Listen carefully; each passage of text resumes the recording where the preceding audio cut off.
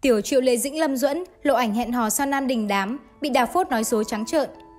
Mới đây, trang Sina đưa tin cánh paparazzi bắt gặp nữ diễn viên Lâm Duẫn xuất hiện tại nhà của Mỹ Nam Nhan Nhân Trung. Ngay lập tức, truyền thông xứ Trung đã đặt nghi vấn cặp đôi này đang sống chung với nhau khi nhận ra khoảnh khắc thân mật của cả hai.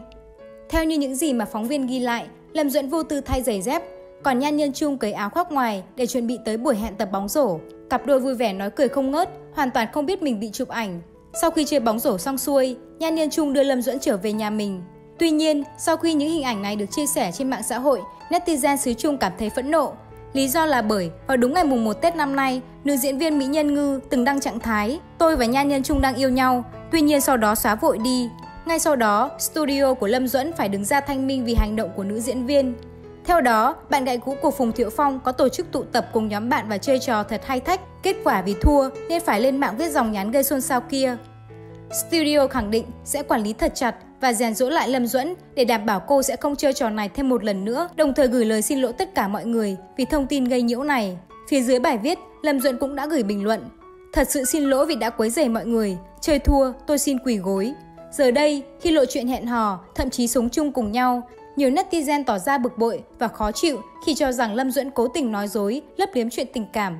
Trong khi đó, không ít các fan phản pháo và cho rằng cần phải đợi nữ diễn viên đưa ra thông báo chính thức. Lâm Duẫn sinh ra trong một gia đình nghèo khó, cha làm khuôn vác, mẹ sức khỏe kém, phải thuốc thang thường xuyên. Trong 3 năm học trung học, cô là một trong hai học sinh được hưởng trợ cấp trong lớp. Năm 18 tuổi, Lâm Duẫn tham gia cuộc thi tuyển chọn vai chính trong phim Mỹ Nhân Ngư do Châu Tinh Trì tổ chức và nhanh chóng nổi tiếng, đổi đời như các vai diễn. Lâm Duận cũng là một trong những tinh nữ lang có nhiều scandal nhất trong làng giải trí, từ quá khứ bỏ học, chụp ảnh nóng khi mới 14 tuổi, cho tới loạt lùm xùm tình ái trong vánh với các nghệ sĩ như Phùng Thiệu Phong, Tống Uy Long. Dù đời tư có nhiều tai tiếng, nhưng không thể phủ nhận rằng tình địch của Triệu Lệ Dĩnh luôn khiến netizen yêu thích bởi vóc dáng mảnh mai, đôi chân dài nuột nà cùng với gương mặt ngây thơ, thanh tú. Trên Weibo của mình, Lâm Duẫn thường xuyên cập nhật những hình ảnh mới nhất, chứng minh nhan sắc ngày càng thăng hạng, ghi rủa lên hương vùn vụt. Tuy nhiên, cũng chỉ vì nhan sắc ngây thơ và thân hình mảnh mai, Lâm Duẫn được truyền thông hoa ngữ gọi là tiểu Triệu Lệ Dĩnh. Ngoài ra, Lâm Duẫn còn là bạn gái cũ của Phùng tiểu Phong, khiến mối quan hệ của họ càng được netizen xăm soi, chú ý. Được biết, Phùng tiểu Phong công khai hẹn hò Lâm Duẫn ngay sau khi chia tay nghề ni, bất chấp khoảng cách 18 tuổi. Cặp đôi thường xuyên đăng tải hình ảnh úp mở chuyện tình cảm. Cả hai cũng nhiều lần bị báo giới bắt gặp nắm tay, ôm nhau xuống phố dạo chơi. Chuyện tình này không nhận được sự ủng hộ của công chúng, bởi lẽ họ cho rằng, chưa nói tới vấn đề tuổi tác chênh lệch, so về sự nghiệp, Phùng Thiệu Phong đã hơn hẳn Lâm Duẫn rất nhiều. Vào thời điểm đó, Phùng Thiệu Phong đã là nam tài tử có tiếng trong showbiz. Về phần Lâm Duẫn mới chỉ là diễn viên trẻ, chỉ được biết đến dưới danh hiệu người đẹp của Châu Tinh Trì.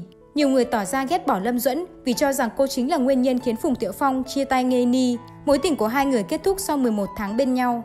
Ngay sau khi đường ai nấy đi với Lâm Duẫn, Phùng Tiệu Phong hẹn hò rồi kết hôn với Triệu Lệ Dĩnh.